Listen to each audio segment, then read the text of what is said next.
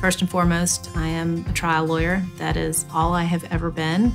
I don't have any other profession to fall back on. Um, I have been in practice over 25 years. Born and raised in New York, moved to Richmond, Virginia, went to school in Virginia, clerked for the Court of Appeals of Virginia, and then immediately out of my clerkship, I was trained to be a lawyer to handle large cases, to handle catastrophic injury cases, and to try those cases in the courtroom. I also relate to my clients really well because I don't just handle these cases and catastrophic injury and death cases as a lawyer. I have been in their shoes on a very, very personal level. I lost my father and brother in a plane crash about 10 years ago that became a litigation.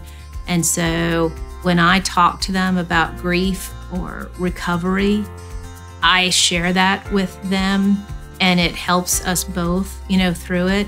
If I didn't love what I did after a situation like that, I couldn't come back because it just wouldn't have been worth it. So I continue to handle death cases. You know, I don't share that with juries, but I share that with with my clients.